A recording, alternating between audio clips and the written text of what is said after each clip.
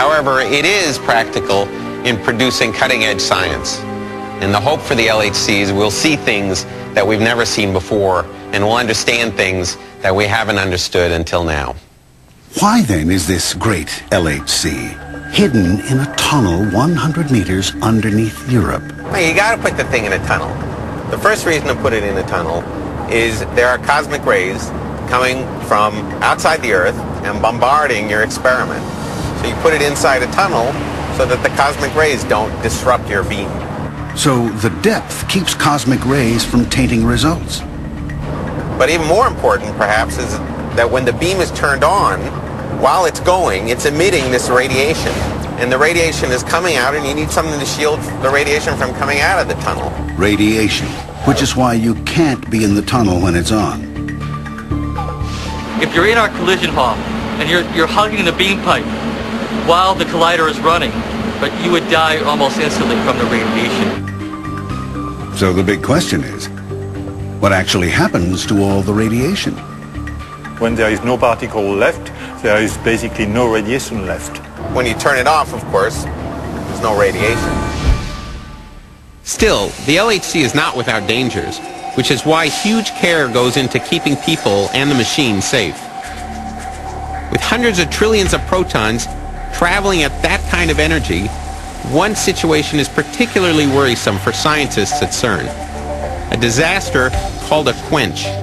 When you're steering these protons that are going that fast around and around in a circle, you're, you're doing that using very high magnetic fields. And the way that we generate those magnetic fields is with a, a, an electric current flowing in a wire. 12,000 amps of electrical current. Now considering your entire house only uses about 100 amps, the LHC's whopping 12,000 amps must run through superconducting cable. And to make a cable superconducting takes a lot of work. It's a very low temperature phenomenon. The cable has to be kept extremely cold, about as cold as the dark side of Pluto. In order to get those kinds of very low temperatures, about 260 degrees below zero, we use liquid helium. Which is dangerous in itself. You can't touch this stuff. Because it's so cold that it will be completely frozen. If the temperature of the liquid helium rises even a few degrees, the results can be disastrous. Something could happen that causes the superconducting cable to heat up above to a temperature above where it superconducts and suddenly this 12,000 amps sees a resistance, an electrical resistance. That's a quench. Now the wire acts like any other wires, so it acts like a heater. It heats this magnet up, and now the liquid helium turns into gaseous helium. All in a fraction of a second. So now you have to get that deadly gas the heck out of there. And that gas has to go somewhere, otherwise the magnet will blow up. Which you obviously want to avoid. You have to have very sophisticated systems that, that monitor for quenches, see quenches coming, and when they see one coming, they dump all that current out very quickly into uh, quench resistors.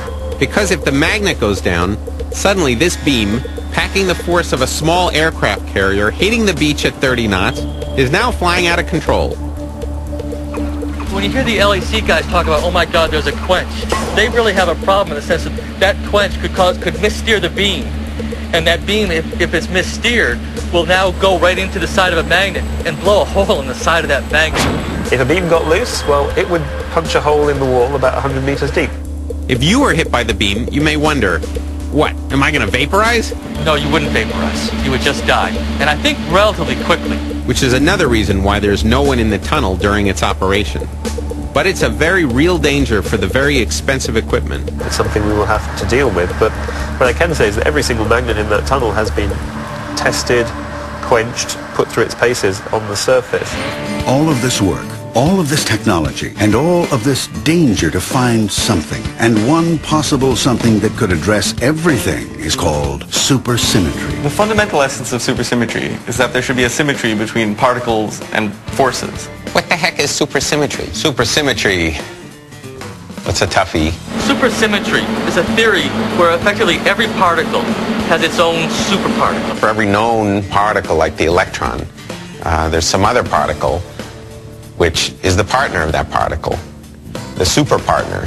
Except that it's heavier, more massive. We look hard enough, we should find a whole other double copy of this world where there's a force-carrying particle for every matter particle and a matter particle for every force particle. It's a symmetry between matter and force. This is often like to talk about supersymmetry as, as being a mirror. You have a mirror, and on one side of the mirror is the, the real universe, and on the other side of the mirror are your supersymmetric particles. Everyone who believes in supersymmetry believes that when we go to high enough energies, the, the mirror will break down and we actually will see particles and their superpartners at the same time.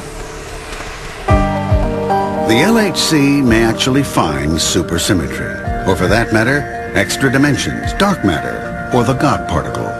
All of these theories are there to try to explain what's happening at this fundamental temperature, at this fundamental energy, which seems to be an underlying part of particle physics.